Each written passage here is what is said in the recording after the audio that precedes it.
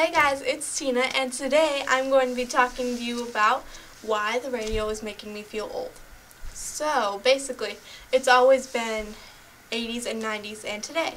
Like, it's fine by me, you're playing 80s and 90s. Now they start playing 80s, 90s, 2K, and today.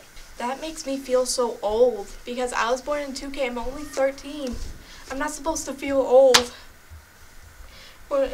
What am I supposed to do now? Are kids gonna start asking me when they turn on the color?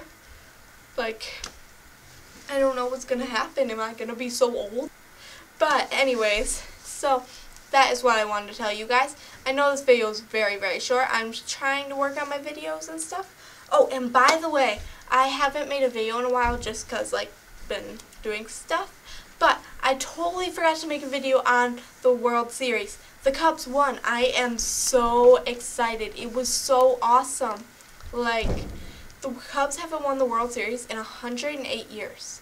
Like, best thing ever. It was so awesome, and I just got a Cubs t-shirt. Like, I'm not wearing it right now.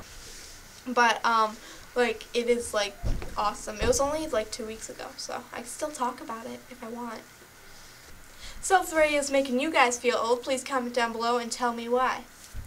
Um, if you are not subscribed to this fam, you should totally do because we do all, all sorts of fun, wacky, weird videos. I'm going to start posting videos more often.